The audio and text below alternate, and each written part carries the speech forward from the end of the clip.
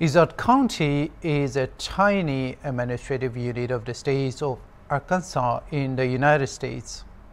The county, with a population of approximately 13,577 people, headed for the county elections this month.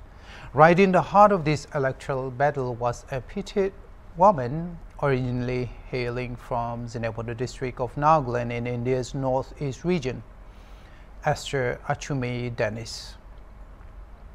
Esther Achumi Dennis of the Republican Party ran for election to the Izard County, a County Justice of Peace District 5th seat in Arkansas. Dennis was on the ballot in the Republican primary on March 5th this month. The regional news media was aflush with curiosity when news broke early about a Nagaland origin woman contesting in a representative election in the United States of America. Naturally, the idea was surprising. Someone placed far from her native demographic could find the space for political representation approximately 13,187 kilometers away in a foreign country. It was a fantastic detail that couldn't be missed. Hornbill TV got the opportunity to speak to Dennis, who is based in Arkansas. The master's degree holder in social work has worked in health advocacy, among others, including accounting and planning corporate services. It's American politics uh, that she looks forward to now. In this Hornbill TV special, she'll be talking talking to us and taking us deeper into a story from growing up in Nagaland to finding herself toward working for the dreams of Arkansas State in the United States and what she looks forward to.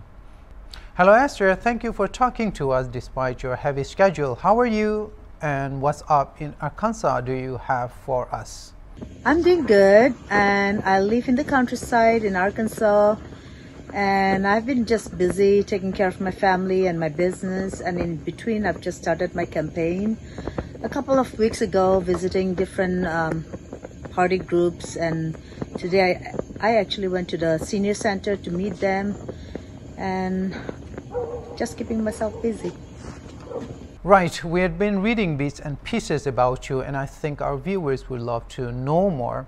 Will it be too much for us to ask you to tell us something about your roots and your life here in Nagaland before you moved to the States? Both my parents are Sumi Nagas and I was born in Bangalore. Then when my family moved back to Nagaland, we were there for a few years. And before, after that, we moved back, I mean, we moved to Shillong.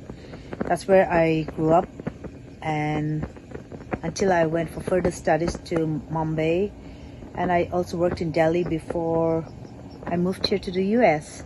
But I still have my family and friends in Nagaland, and we visit them as often as we can. So, what led you to the United States, or how did you find yourself there after living here in Nagaland and then Bangalore and then Shillong?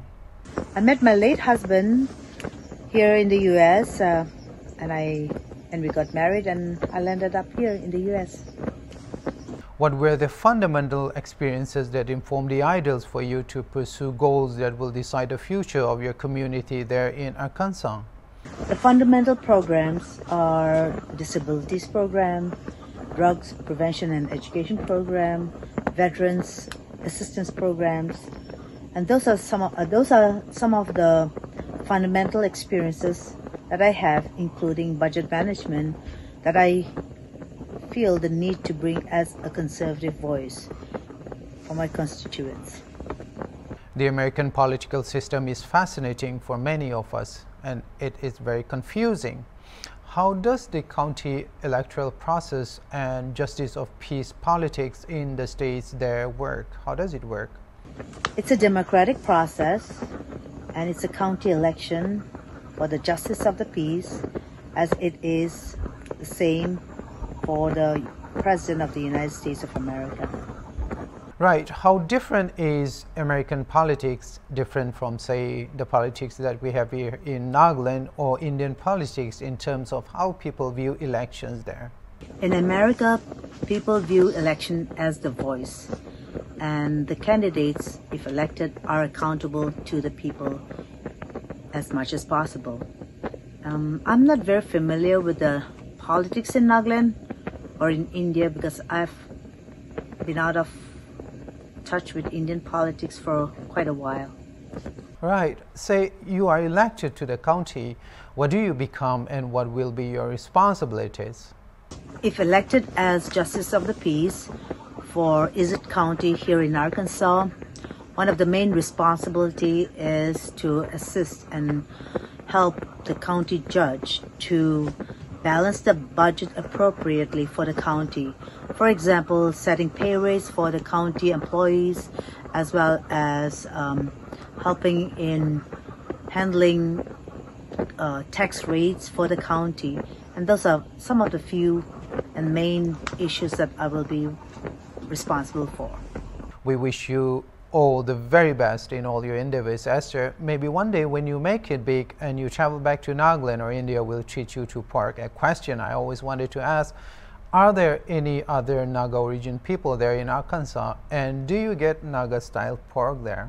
Yes, we do have um, several um, Naga families that is within 20 minutes from my house and we definitely have uh, Naga style pork. We we can actually smoke pork out in the on the farm. We also can get some smoked jowl um, at the local grocery store. So we do have some axone with smoked pork, and we do enjoy that every so often. Thank you for having me on your show, and I would like to request you all to please pray for me because I believe that God has put me in this position for such a time as this. Thank you. God bless all of you, and God bless the United States of America. There was Esther Achumi Dennis of Arkansas. She was born in Bangalore and she lived in Nagaland during her preteen years. That's what she told me. She then moved to Shillong in Meghalaya, studied in Mumbai, and worked in Delhi before moving to the United States. Let's all wish her the very best. Thank you for watching Hornbill TV. I'm Al See you next time.